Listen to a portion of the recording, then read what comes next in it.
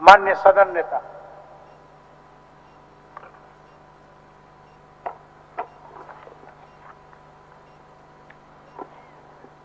अध्यक्ष महोदय विगत सत्र से अब तक की अवधि में हमारे बीच कई राजनेता, कलाकार, समाजसेवी, साहित्यकार और आम नागरिक गुजर गए।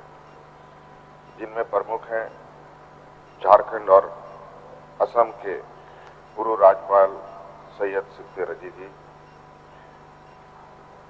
समाजवादी पार्टी के संस्थापक एवं उत्तर प्रदेश के पूर्व मुख्यमंत्री मुलायम सिंह यादव जी, टुंडी विधानसभा क्षेत्र से तीन बार प्रतिनिधित्व करने वाले झारखंड विधानसभा के पूर्व अध्यक्ष डॉक्टर सावा अहमद जी, झारखंड के राजनीतिक में दादा कहे जाने वाले पूर्व मंत्री समरेश सिंह जी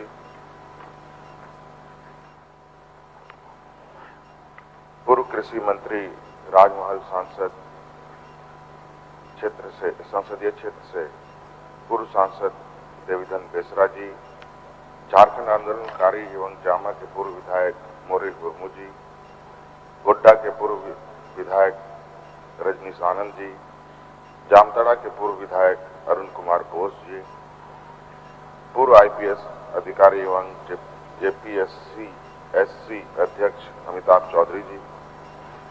झारखंड के पूर्व राज्यपाल रहे धनिक लाल मंडल जी। बिहार के पूर्व मंत्री समरेश शमशेर जंग बहादुर सिंह जी। गोपालगंज सदर के विधायक एवं बिहार सरकार में पूर्व सहकारिता मंत्री सुभाष सिंह जी। बिहार विधान परिषद के सदस्य केदारनाथ पांडे जी, हॉकी विश्व कप में भारतीय टीम के प्रतिनिधित्व करने वाले सिमडेगा ज़िले के पूर्व अंतर्राष्ट्रीय हॉकी खिलाड़ी जस्टिन केरगट्टा जी, सरायकेला खरसवा के अंतर्राष्ट्रीय छव एवं मूर्ति कलाकार नंदलाल कुमार जी वर्ष 2012 में पद्मश्री पुरस्कार से सम्मानित छाऊ गुरु पंडित गोपाल प्रसाद दुबे जी,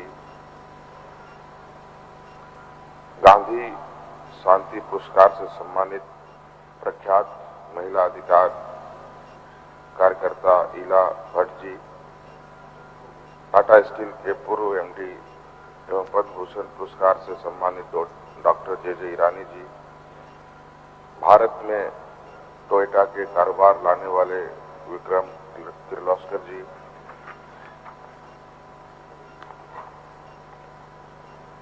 हिंदी साहित्य के प्रमुख समालोचक एवं वरिष्ठ लेखक डॉक्टर मैनेजर पांडे जी।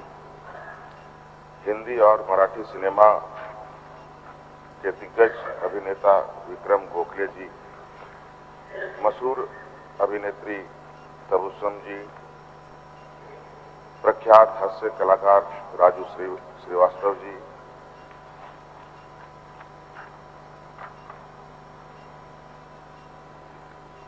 इनके अलावा मोरबी शहर गुजरात में मच्छू नदी पर केवल टूटने के टूटने से हुए हादसे में 135 से अधिक व्यक्तियों की मौत राजस्थान के बाड़मेर में वायुसेना के लड़ाकू विमान मिग 21 में दो पायलटों की मौत तथा अरुणाचल प्रदेश में हेलीकॉप्टर दुर्घटना में चार सैनिकों के शहीद होने की घटना से मैं मरमाहत हूँ। मैं तमाम दिवंगत आत्माओं के प्रति अपनी श्रद्धा श्रद्धा निवेदित करता हूँ और ईश्वर से प्रार्थना करता हूँ कि उनके परिजनों को शोक सहन करने की क्षमता प्रदान करें।